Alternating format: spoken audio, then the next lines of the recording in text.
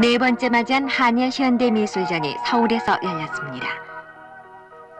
조각과 회화, 부문에 걸쳐 두 나라 작가 106명이 참가한 이번 교류전은 현대미술의 현재를 확인하고 앞으로의 좌표를 전망하는 계기가 됐다는 점에서 뜻있는 전시회였습니다.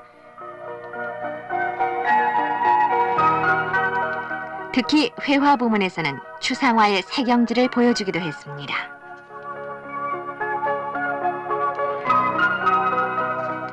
한편 한국미술협회가 마련한 미술협회전이 국립현대미술관에서 막을 올려 한여름에도 미술계의 활동이 활발히 이루어지고 있다는 것을 보여주고 있습니다.